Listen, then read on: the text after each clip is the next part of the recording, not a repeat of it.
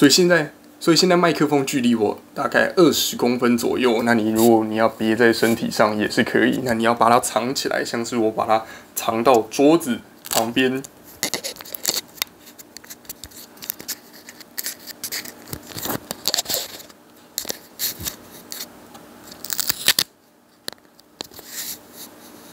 好，假设我把它像是这样子，我把它藏到桌子旁边，我就特像是这样子，我把它藏到桌子旁边。那你可以把它藏得更下去，但是我想要让你看到可爱的麦克风在这里。反正你如果把它藏到桌子旁边，嗯，好，就像这样子藏到桌子旁边，其实可以把它放更下去，给它藏起来。但是我想要让你给它。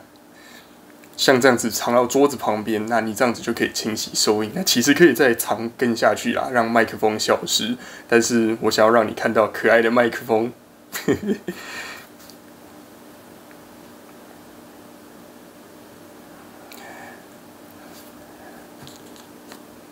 那我自己是觉得收音。那我自己是觉得收音这个东西呢，真的是非常非常的主观。像是我的声音可能比较低沉，那你的声音肯定跟我不一样，因为我们不是复制人嘛。那我们的声音不一样，那用的麦克风其实也不一样，所以你就只能大概参考一下我们的声音听起来怎么样。那我待会也会拿出去测试，然后就是录各种不同的声音，让你自己决定说，哎，这个麦克风到底适不适合你？可能适合某些人，但可能有人。特别不喜欢这个声音，那可能就不适合他。你们要自己决定。